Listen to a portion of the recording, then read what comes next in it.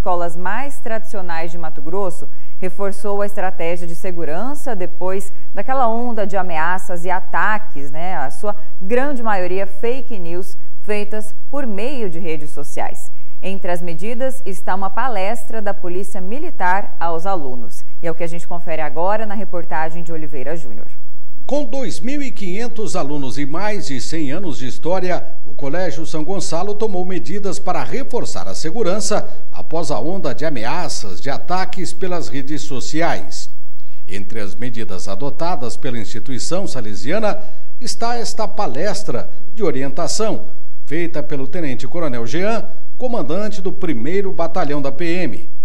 E entre os assuntos, lógico, as más influências e as redes sociais. Um de nós tiver um problema grandão, muito grande, e esse problema ele for um problema a ser compartilhado através do meu estado de estar ruim e não tiver alguém que possa me ajudar, este problema não é só mais um problema meu.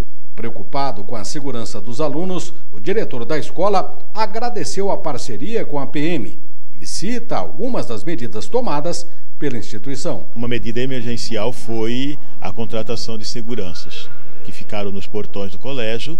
Essa medida emergencial com ronda nos momentos mais críticos, que é entradas e saídas dos alunos. Né, foi uma... As outras ações que começamos com essas formações com os alunos, Teremos também a questão de primeiros socorros e também de orientação de crise, de pânico, de movimentação de alguma situação. Então também vão ter treinamentos, ainda não foi realizado, estamos só ainda no planejamento. E é, organizando, estruturando as questões de vulnerabilidade da escola como estrutura.